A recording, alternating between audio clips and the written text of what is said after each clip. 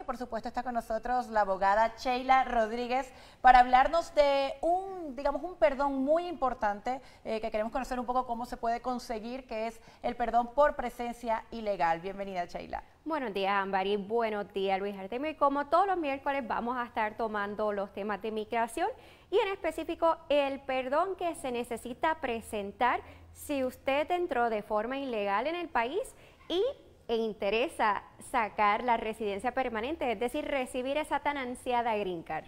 En este caso, ese es un perdón que yo voy a solicitar por lo que hice o cuando yo solicito una visa, dentro de esa solicitud yo también tengo que pedir un perdón si entré de esa forma.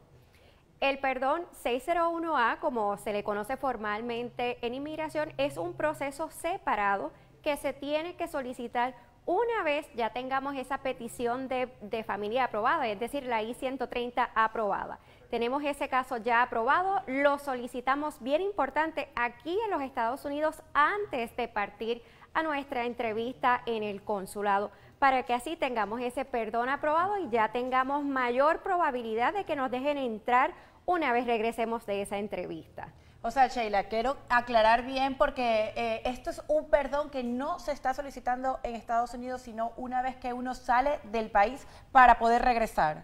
Se solicita aquí en Estados Unidos antes de partir a la entrevista y una vez inmigración lo aprueba, es decir, nos da el visto, bueno, salimos al consulado para poder terminar nuestro proceso, hacer la entrevista y poder regresar aquí de forma exitosa. Pero ojo, no todo el mundo cualifica para este perdón. Así que si usted que nos ve sepa que entró de forma ilegal, usted lo va a poder presentar si tiene un cónyuge que es ciudadano o residente permanente o si usted tiene un padre o madre ciudadano americano o residente permanente. Así que esas son las dos personas que van a poder solicitar este permiso de forma exitosa. ¿Cuáles son los requisitos que se solicitan en este momento en esa solicitud?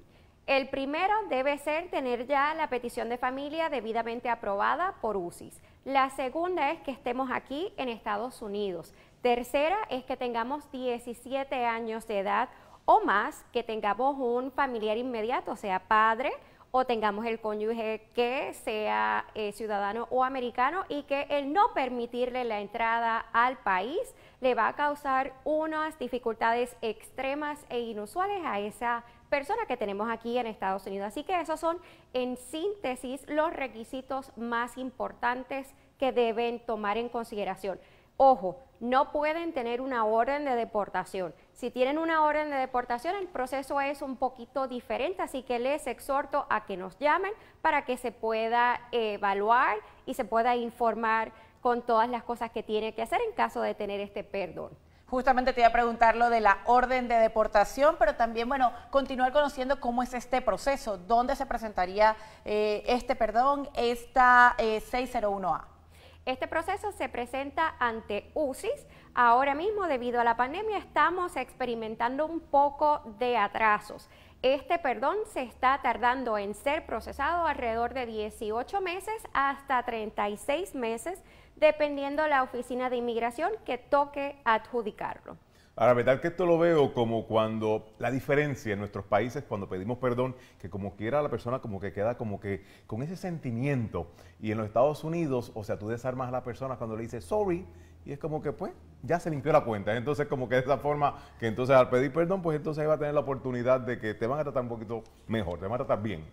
Eso es así, es bien importante que no tengamos miedo sobre eh, realizar el proceso. Este es un paso imprescindible para que usted pueda recibir esa tan ansiada green card. Así que si usted está inseguro, llámene y nosotros con mucho gusto le informamos para que tome una decisión que le pueda terminar en su green card. Gracias. Gracias, Sheila, por haber estado con nosotros. Hacemos una pausa, pero quédese pegadito porque al regreso vamos a hablar de ecología y también vamos a todo Colombia. Esto y más.